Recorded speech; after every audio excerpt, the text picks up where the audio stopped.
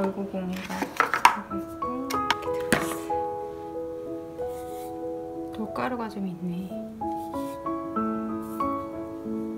일단, 길들이는 법이 나와 있는데, 베이킹 소다 한 컵이랑 물을 섞어서 골고루 문질러요. 3분 이상.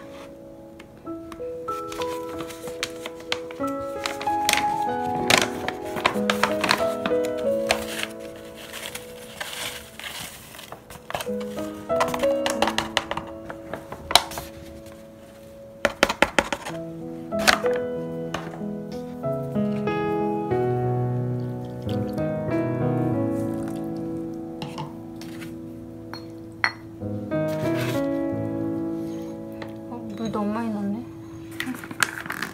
일단 모자라서 여기다 더 넣고 이거 먼저 해야겠다.